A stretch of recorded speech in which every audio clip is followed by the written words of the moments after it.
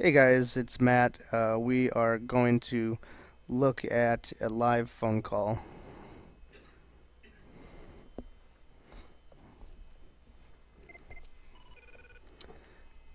Thank you for holding. This is Matthew. How can I help you today? Uh, yes, I'd like to place an order for delivery, please. Yes, and have you placed an order with us before? Yes, I have. And the phone number?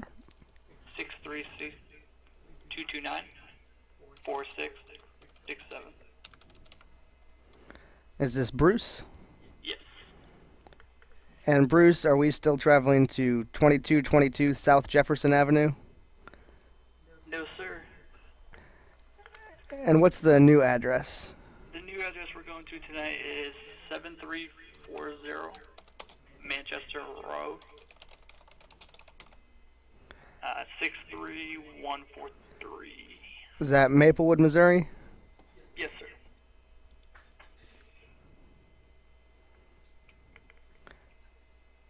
Alright, bear with me just one second here.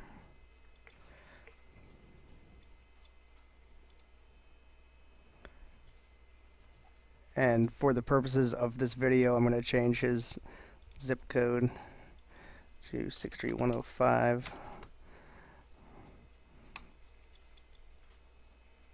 And what restaurant can I get you food from tonight?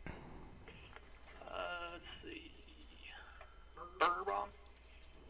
And what can I get for you? Uh, let's see.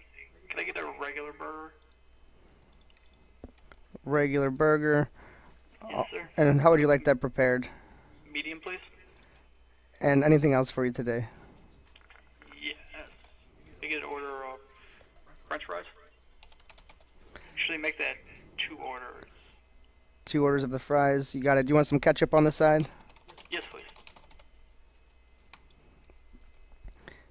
And we have three dollars left until you meet the minimum order for this restaurant. Can I get you anything else today?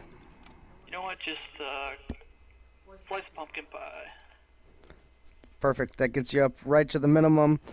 And the total after tax and delivery fee comes to twenty-two forty-nine. Did you want to pay with cash or with a card today? Cash, please. Perfect. Cash. So again, the total is twenty-two forty-nine. I have the food going to seven three four zero Manchester Road, and it's one regular burger cooked medium, two orders of fries with ketchup on the side, and a slice of pumpkin pie. Perfect. The total again, it's twenty-two forty-nine. The driver should be there at about eight fifty p.m. If there's any problems with the order, please feel free to give us a call back. Your order confirmation number is seventy-three. All right, sounds perfect. Thank you. Thank you. Have a good day. And after the order gets placed over the phone uh, or online, it always lands on the dispatch screen as a new order where we would mark it as confirmed. We would assign it out to our driver.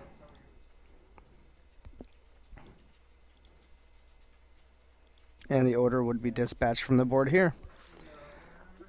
That is how we would take a phone-in order through RDS Logic. If you guys have any questions, please feel free to reach out via email or on the Yammer forum, and we'd be more than happy to answer your questions. Thanks a lot, and have a great day.